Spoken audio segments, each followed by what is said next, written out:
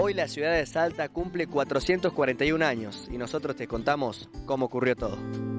Fue fundada el 16 de abril de 1582 por el licenciado en Derecho don Hernando de Lerma.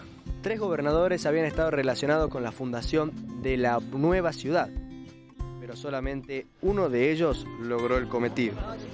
Jerónimo Luis de Cabrera fue el primero, y lejos de proceder con el mandato del virrey del Perú, Francisco de Toledo, terminó fundando la ciudad de Córdoba en 1573. Este fue reemplazado y ejecutado por el catalán Gonzalo de Abreu, quien tampoco logró la hazaña. El que sí pudo hacerlo fue el tercero, el sevillano Hernando de Lerma. El propósito de ocupar espacios y de fundar ciudades en la por entonces gobernación del Tucumán era para proteger la riqueza de la mina de plata del Potosí. Y también formar un sistema de comunicación entre ellas para el intercambio de mercaderías. La ciudad primero se llamó San Felipe del Valle de Lerma. Luego el nombre derivó en Salta. Según varios autores, este correspondía al de una comunidad aborigen que habitó en la capital y en la provincia.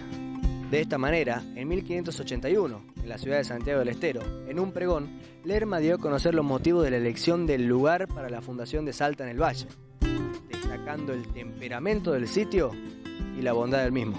Se ubica a una altura de 1187 metros sobre el nivel del mar y enclavada en el norte del Valle de Lerma. La ciudad se destaca por una fisonomía hispano-colonial y la hace el destino favorito del turismo nacional e internacional. A principios de 1582 recibió Lerma un contingente de 85 hombres. En Talavera se le sumaron algunos capitanes y a mediados de abril, sin mayor resistencia de los indios, eligió en el Valle de Salta el sitio para una nueva ciudad. La mayoría de los integrantes del contingente poblador eran vecinos de Santiago del Estero, de Talavera, de San Miguel de Tucumán y de Córdoba, y quisieron volver a sus lugares de origen, pues ya disponían en ellos de encomiendas y de una cierta base material segura.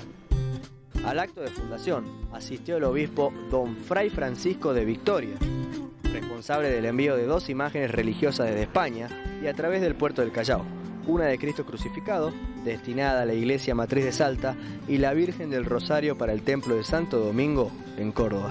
El lugar elegido para el acto fundacional fue lo que hoy es el centro de la Plaza 9 de Julio, en ese momento bautizada como Plaza de Armas.